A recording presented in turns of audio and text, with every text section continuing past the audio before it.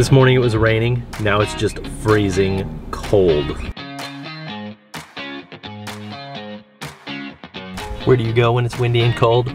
Coffee at Starbucks, of course. I'm back at church after a nice Starbucks run. Got some work done, finally finished up slides for the game and for uh, youth group talk. So now I'm gonna run into the theater and uh, load up the computers that are in the theater for Sunday night. But I'm telling you, there is sleep coming down. I couldn't capture it on video. I tried, but there is sleep on October 31st. What is going on?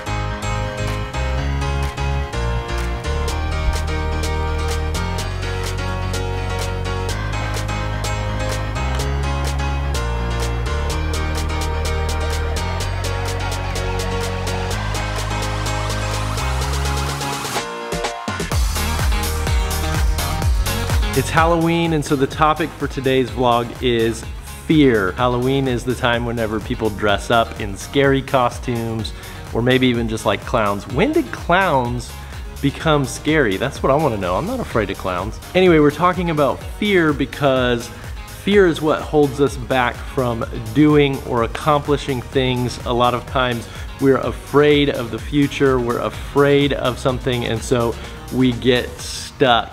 So if we ever want to accomplish something, we have to put fear to death. I wanted to read a quote to you from Ralph Waldo Emerson that says this, do the thing that you fear and the death of fear is certain.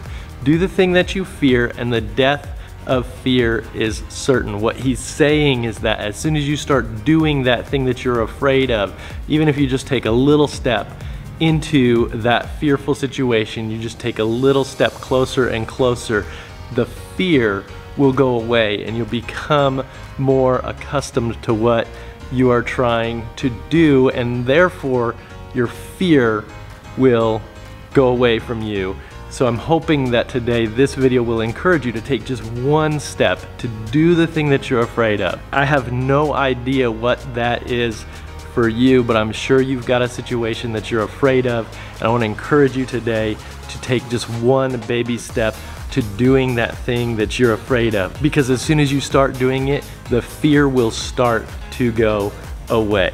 All right, let's go. Happy Halloween. It's snowing.